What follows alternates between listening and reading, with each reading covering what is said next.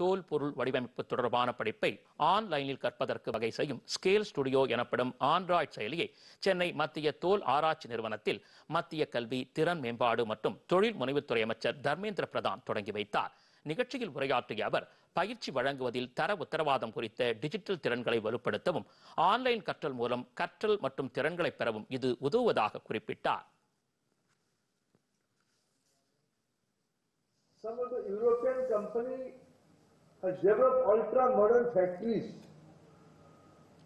There's no iota of pollution. Even they put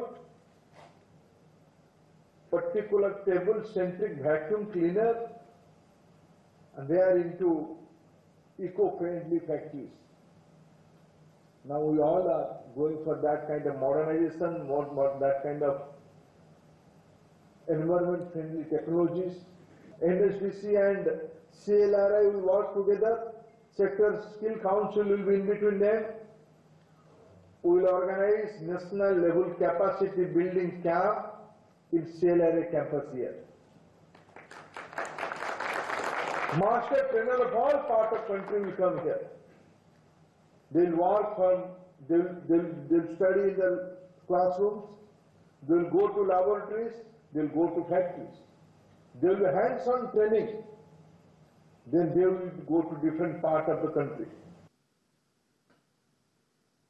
இந்த நிகழ்ச்சியில் பங்கேற்ற மத்திய தகவல் ஒலிபரப்பு மீன்வளம் கால்நடை பராமரிப்பு மற்றும் பால்வளத்துறை இணையமைச்சர் எல் முருகன் தோல் பதனிடுதல் உள்ளிட்ட நடைமுறைகளில் மத்திய தோல் ஆராய்ச்சி நிறுவனத்தின் தனித்துவமான தொழில்நுட்பம் செயல்படுத்தப்பட்டு வருவதாக கூறினார் இரண்டாயிரத்து நாற்பத்தி ஏழாம் ஆண்டில் இந்தியாவில் அனைவருக்கும் அனைத்தும் என்ற இலக்கை எட்ட பிரதமர் மோடி தலைமையிலான அரசு பாடுபட்டு வருவதாகவும் அந்த இலக்கை எட்டுவதற்கு ஸ்டார்ட் அப் நிறுவனங்கள் மூல காரணமாக இருப்பதாகவும் அவர் கூறினார்.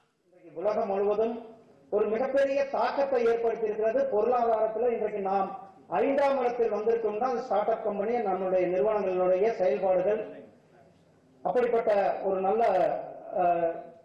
நிலைமையை நாம் இன்றைக்கு அடைந்திருக்கின்றோம். சுதந்திரம் அடைந்து 75 ஆண்டுகளை கடந்து 76 ஆறாவது ஆண்டுகளை நாம் அடியெடுத்து வைத்திருக்கின்றோம்.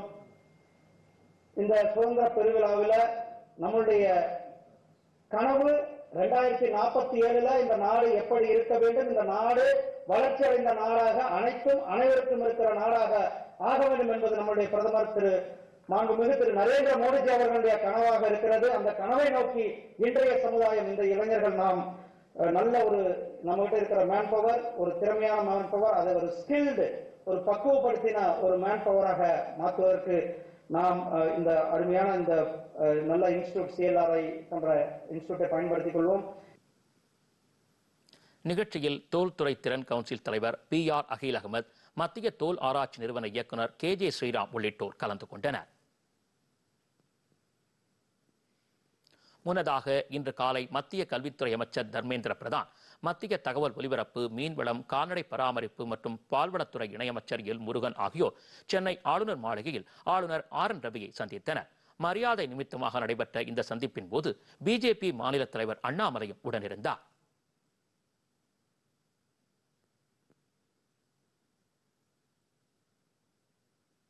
மத்திய அமைச்சர்கள் தர்மேந்திர பிரதான் எல். முருகன் ஆகியோர் சென்னை பிஜேபி தலைமை அலுவலகமான கமலாலயத்திற்கு சென்று பார்வையிட்டனர். அப்போது மாநில பிஜேபி தலைவர் அண்ணாமலை மற்றும் நிர்வாகிகள் உடனிருந்தனர்.